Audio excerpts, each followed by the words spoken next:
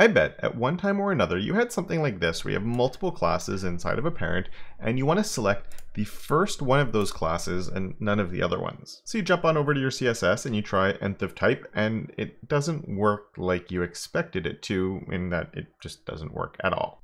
Now the reason that this isn't working is because the nth of type here is looking to see if color accent is the first of its type, meaning the first paragraph inside of the article here. The first paragraph that it comes across is not a color accent, so it does not match. And to show this, if we move this to be the first paragraph in the article, it is now the this color accent is the first of its type, so the first paragraph inside the article, and now it is getting the color red on it. And this is incredibly frustrating that there is not an easy way to do it, except this is coming to CSS, and not only is it coming, it is one of the features that was added to Chrome 111, along with a whole bunch of other really amazing CSS things, and it's already supported by Safari. Now, browser support for it is not perfect yet, so please don't start using this in production introduction. We're going to talk more about browser support in a second though, but let's see how we can do this even if my paragraph is not the first thing there, but I still want to select the first paragraph of a specific class. So while this one is not working, what we can do is come in and say we want to choose our article,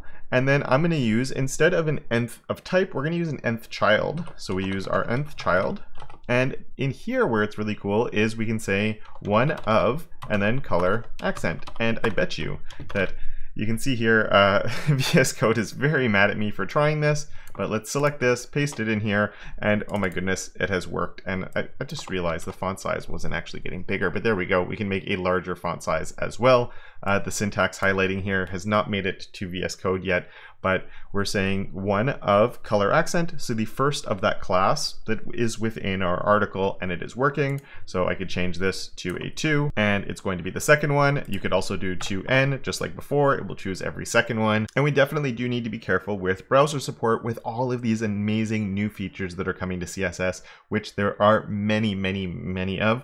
And my new rule for making videos on these things is once two browsers support it, then I can make a video on it. So we have support for this in two browsers now. So I feel like it's good to start getting the word out and letting people know that these exist and they are coming. And I already know there's probably comments down below saying I can't use this for six years because of Internet Explorer. But the reality of it is with today's browsers, things are moving incredibly quickly. If we just look at has and container queries, they're both beyond 80% support already, even though they're relatively new and things just really can move quickly. And we can also use these as progressive enhancements where we're adding a little bit of extra for people who have the support. And so even if somebody is on an older device that can't update the browser, like an old phone or something like that, it's not the end of the world. They still have a working experience, even if it's not a perfect one. And if you want to know more about that, I actually talked about this years ago in this video right here. So if you're curious about that sort of mindset, you can check that video right now. And with that, I would like to thank my enablers of awesome, Johnny, Michael, Ralph, Simon, and Tim, as well as all my other patrons on Patreon.